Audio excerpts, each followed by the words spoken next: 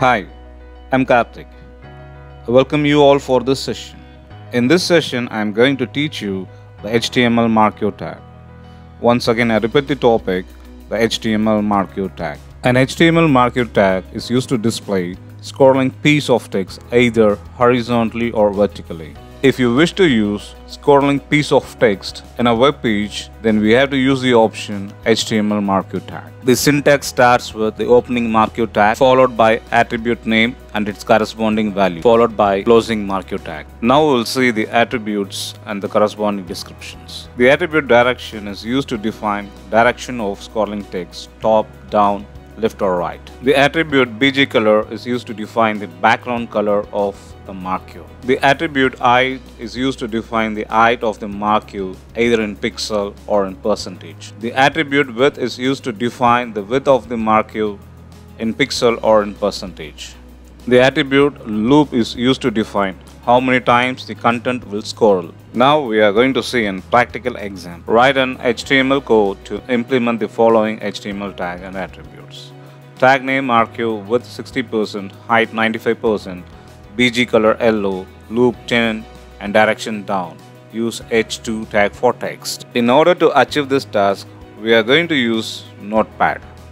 Go to the search box and type Notepad. Click the Notepad icon in order to open it. Type the HTML syntax, where the HTML is the root element of an HTML document. The head tag provides the metadata information about a web page. The title tag provides a title to a web page.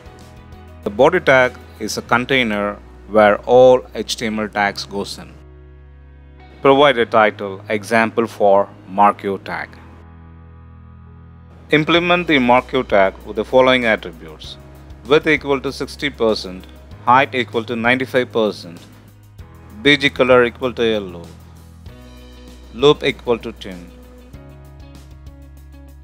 and the direction equal to down, followed by the closing marquee tag. We are going to use the heading tag h1 to display the scrolling piece of text. h1 tags provides you the biggest heading. Now this is the time to save the HTML document. Go to the file and click on save as option.